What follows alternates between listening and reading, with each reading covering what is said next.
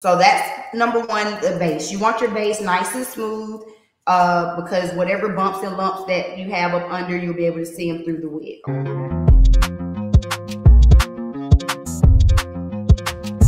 Whenever you're wearing a wig, whether it's glueless or glued down, you want the base of your head to be kind of as smooth as possible. Right now, I have some braids in, as you can see.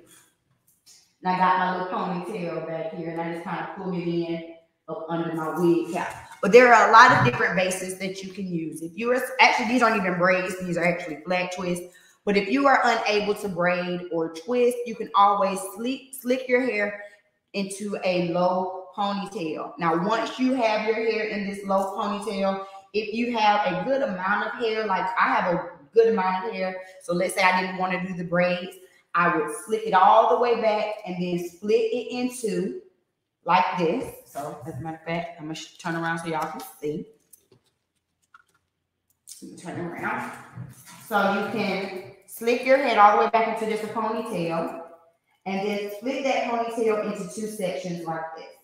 From there, you're gonna take one side of that section and bring it around to the front of your head and use a bobby pin or a hairpin and pin it along the side of your head. And then take the other side, again, pulling it nice and tight and pinning it on the other side as well. I think was. Okay. So that's number one, the base. You want your base nice and smooth uh, because whatever bumps and lumps that you have up under, you'll be able to see them through the wig. Okay.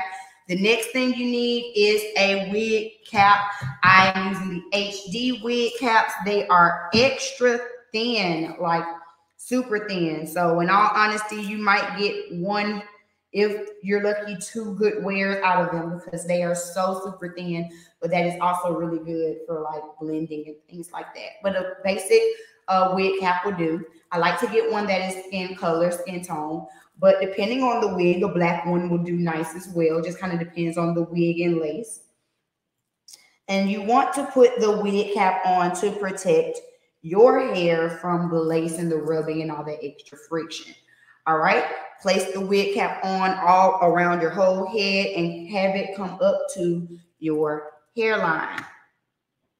Okay. From there, once you have your wig cap on, your base done, your wig cap on, then we take a wig grip.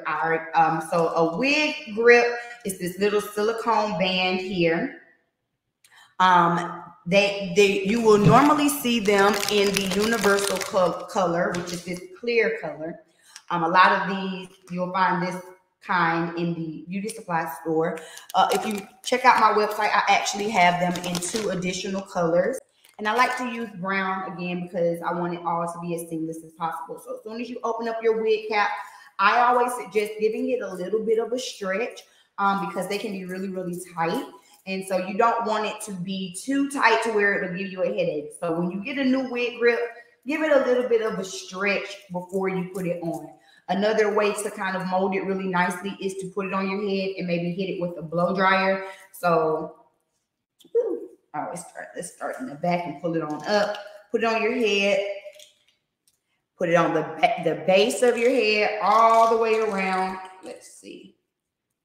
Right where that cap is, right on your hairline. There we go. Right on the hairline. There you go. So between the wig cap, the wig grip, and the elastic band that we just sewed, let me go. This elastic band that, you, that we just sewed. If you have these steps, you already can secure your wig pretty nicely. But I'm gonna give you another trick. Okay? This is a quick snippet of my Go Without Glue course. Join this course if you are a woman suffering from alopecia so that you can learn how to choose, install, and maintain a medical wig. And for a limited time, I have a special promo code. Enter promo code INTRO to receive $50 off of this course. You do not want to miss it. Make sure you head on over to www.bsssU.com and join my course today. To everyone else, don't forget to follow me on all socials, links in the D box. I'll see y'all in the next video. Peace.